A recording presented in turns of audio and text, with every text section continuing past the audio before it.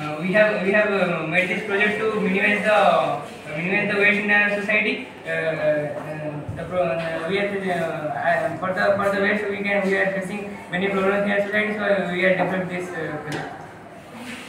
The, the materials required required in this project is cardboard, color paper, thermocol.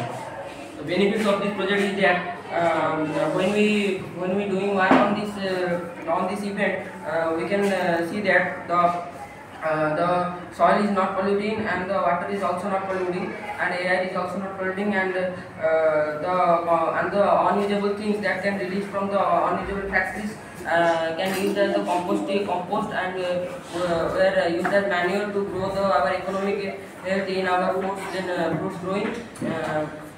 And grow the economic health in our in country and also mm, international uh, bodies.